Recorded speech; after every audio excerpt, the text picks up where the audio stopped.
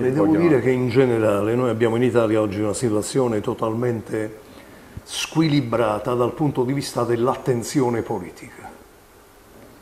Noi abbiamo un campo, i migranti, che come dire, assorbe il 70%, l'80% dell'attenzione politica, mediatica, dei dibattiti.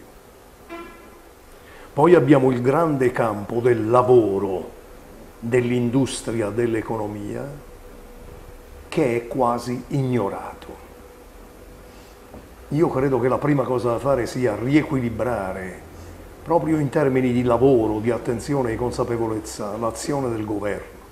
Qui abbiamo centinaia di situazioni di crisi, dalla Jabril alla Whirlpool, all'Ilva, a Taranto, ad Alitalia, ancora nessuno sa che succede per l'Italia.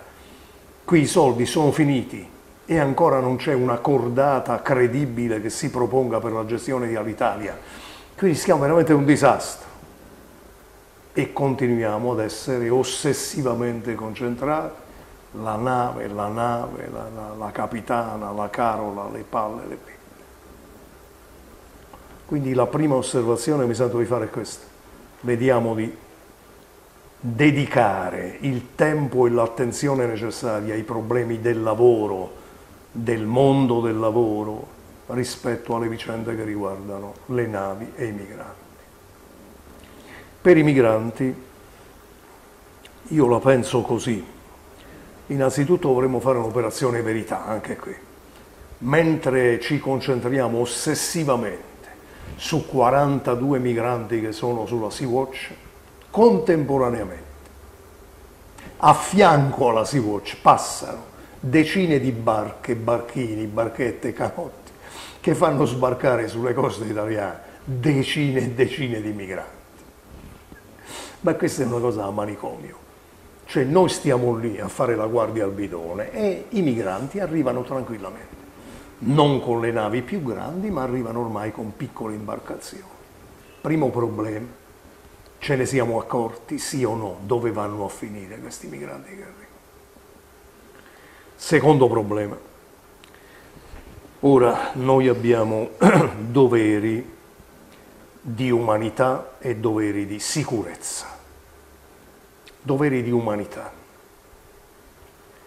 Io penso che quando abbiamo persone che non mi interessa sapere come arrivano, rischiano la vita, donne incinte, bambini abbandonati, quando abbiamo davanti agli occhi le immagini delle torture subite da queste persone nei campi libici, noi non possiamo girare la testa dall'altra parte. Abbiamo un dovere umano, cristiano, elementare. Io non mi sento di chiudere gli occhi di fronte alle immagini che arrivano dei campi di concentramento che ci sono in Libia. Quello è un inferno. E dunque il dovere di salvare le vite umane è un dovere prioritario su tutto. Poi c'è un altro capitolo che riguarda quello che si sta facendo in concreto per risolvere il problema, che è un problema gigantesco. Sentivo ieri dei numeri, presidente della Libia, quello riconosciuto, ha minacciato di liberare 7-8 mila migranti contenuti, ospita, ospitati, rinchiusi nei campi di concentramento. 7-8 mila, cioè stiamo parlando di 7-8 mila persone non di milioni, 7-8 mila, questo è il numero.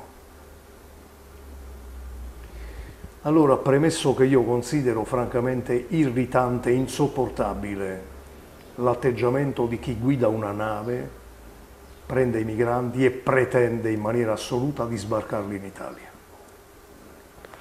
Io la considero una posizione francamente insopportabile.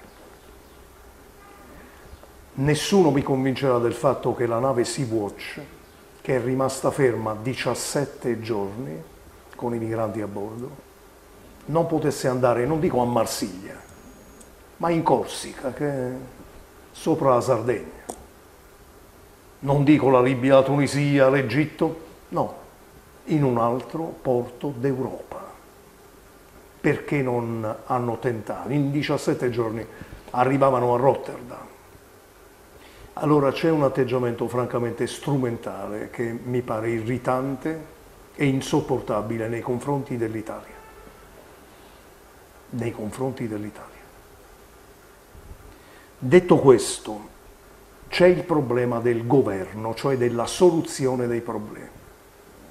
La soluzione dei problemi è in Europa ed è in Africa. In Europa, quando il ministro dell'interno Salvini, su 7-8 riunioni dei ministri dell'interno europei, si presenta una sola volta, perché quando si governa non, non è prioritario fare le campagne elettorali, fare la politica politicante, quando si governa, si governa cioè il 90% del tempo deve essere dedicato ai problemi, non alle bandiere di partito.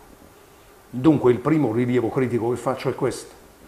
Se sai che devi risolvere il problema con l'Europa, non puoi essere assente il 90% delle riunioni che fanno i ministri degli interni, perché è lì che si decide. È lì che puoi batterti per avere delle quote di distribuzione in Europa. Secondo, quello che mi impressiona è l'assoluta mancanza di una proposta italiana per l'Africa. 7.000 persone nei campi di concentramento.